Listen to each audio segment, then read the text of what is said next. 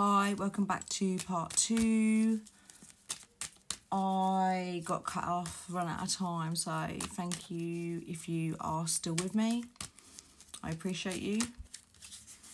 Very, very grateful for that. So I did actually get some messages on dates and I wrote them down and it's quarter past five on the 15th. It seems to be repeating numbers that I'm getting. 222 on the 16th, like AM in the morning. Not been able to hold back any longer. Within the next eight hours, eight minutes, eight minutes, blah, blah, blah, blah. Again, they have a lot to say. The, the throat chakra is like, they've been holding them back themselves back for some time. It's like they've been beating themselves up because of what people have told them. And I'm really picking up very strongly some toxic family members here. Okay, if you're lucky enough to have wonderful family members, then I am so happy for you, honestly. But 95% of the time, that isn't the truth, especially around chosen ones, people that have gifts and are light workers myself, carry, uh, light carriers because we irritate the spirits, the demons and other people's energy. Basically, our spirit irritates their demons, so to speak. They want to kind of latch onto that and do their best, anything possibly to try and destroy it. But ultimately, what they would do is they would just make you stronger. You are more powerful than you think, and you need to believe in yourself and know that this is deserving for you. Affirmations, 100%. I'm getting a message. Sorry I was late. Something come up. I didn't mean to let you down for somebody. I had brought you flowers that you love.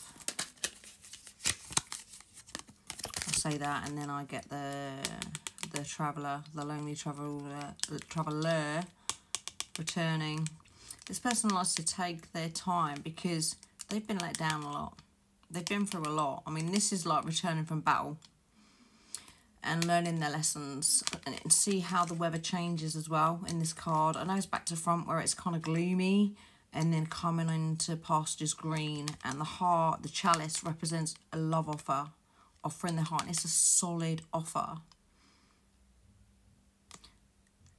Don't walk away if you're feeling that's your ego that needs feeding. The ego wants to know if, when, why, how you know, all that kind of stuff. But it's the mind. You are not the mind. You are pure consciousness, okay? It's not saying that that kind of behaviour is okay. If you've been fed in some sort of BS story or blah, blah, blah. But the truth is the divine masculine never means to hurt the DM. It's because of what is going on internally within you.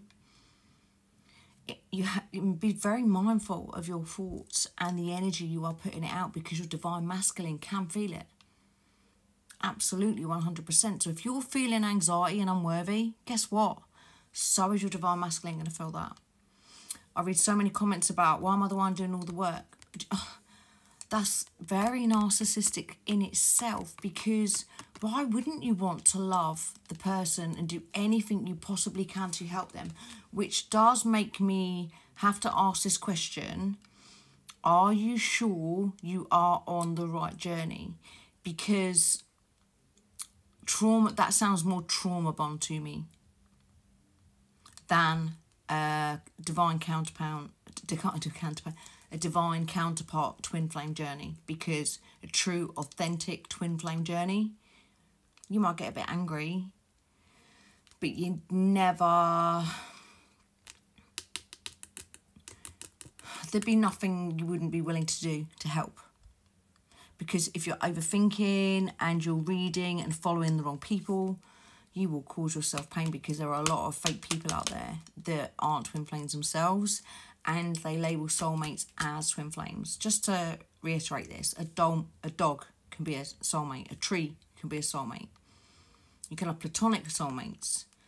You can also attract narcissists, and they all get sent into your life again for a reason because there is something within you that needs to be fixed for you to learn to deal with the people pleasing vibes, you know, wanting to be liked, pick me kind of energy. Who cares if people like you? Be unapologetically and authentically yourself. Shine your light, and I tell you what, you will attract the right people because you say no.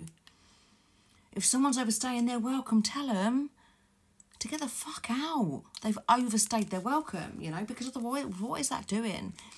It is saying that you are a doormat and you are willing for someone to just basically just walk all over you. And people like that, they get great joy out of that. And I guarantee you, if you listen to the way they speak, trust me, you won't like what you're hearing. And you will, if you take a step back from it, understand that the minute that they're not in your presence, they're doing exactly the same about you. It's how it works.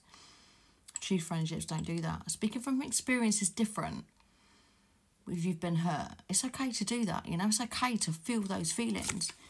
You don't deserve to be treated that way, but forgive them, pray for them, pray for these people. You know, they're the ones that are being tormented at night. They absolutely are. They don't get to go around destroying people's lives and living a happy life. It is not how it works. We don't wish bad on people. We let go and we let the divine, God, source, angels, however you resonate, make peace with it. Don't blame yourself. If there are things that you blame yourself for, wish you could have, should have, would have, could have done things differently, you can't change it. And you acted the way you had to act. Sometimes the beast comes out within us. It has to. You know, so forgive yourself. This is be ready to act on an imminent invitation. This has been in the works for a while. I do feel a few of you have already had some back and forth communication. There are some of you that have still been waiting four to six weeks, if not longer. I'm getting up to four months before Christmas. Some of you possibly six weeks. You are at that I'm done stage but it doesn't feel as though it's uh, I'm done in a kind, I am now releasing this, I love you, but continue to do the work with it. I'm here to tell you, you you're never going to be done with this journey. Once you're on it, you are on it. Um, you can choose to go back to sleep, make, make bad choices. I mean, this is your life. But once you are strapped into that roller coaster with your roller coaster body, there ain't no getting off it. You know, um, so just to let you know, and it is so worth it in the long run, I promise you. And I am going to, in the next year, start to write some courses and do some workshops on law of attraction and divine counterparts and raising your vibration, meditations, anything I can do to help. So I will link my video, which gives details of the lengths of reads that I offer and as I said spaces are filling up time and I give you my all 100% you are not alone on this journey okay? So this person thinks the world of you and vice versa. Again don't let the mind other people get involved because it is not their story it's not their love story. Anyone who's not cheering you on they are not your people. Anyone who tries to keep you apart they are not your people. Love knows no um, age difference cultural background, it makes no difference. The heart wants what the heart wants. And also, aging is a myth. It's a very limited societal belief where they want people to die sooner. It's as simple as that. If my video gets ta taken down for saying that, so be it. But it is the truth. This love is extremely abundant and I am hearing the words, I love you, baby. I'm sorry I didn't tell you sooner. I've been holding back because of fear of rejection. I've been watching you from afar. And I am coming back for you. I have realised during this time of separation that was needed as much as I long for you every night and every day I understand now because my spirit guides have been showing me signs and synchronicities. And I am so grateful for that. So, running out of time, remain positive, be positive. No, you are not alone on this journey. You can click on the link below. I will add a couple of my videos. Please like, share, subscribe, and follow. And drop a comment down below about what's going on in your journey and what resonates. Um, I would love to hear your comments and